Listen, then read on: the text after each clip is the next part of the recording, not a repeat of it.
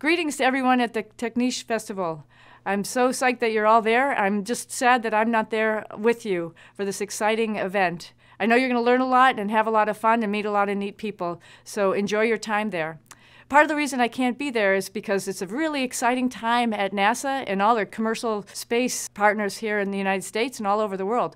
We're getting ready to launch new commercial spacecraft on new space rockets to the International Space Station. We'll be taking people up there on a regular basis in the next couple of years with these commercial companies. And these companies have been able to devise new spacecraft and new rockets that are with new technologies, which are smarter, safer, and will maybe open the door for more and more people to be going to space. This is the dream that we want to realize to allow many people from all over the place to be able to go to space. And in the meantime, NASA is working with the Orion program and the Space Launch System, which is a brand new rocket, bigger than anything else we've launched, to take us back to the moon and beyond to continue in exploration.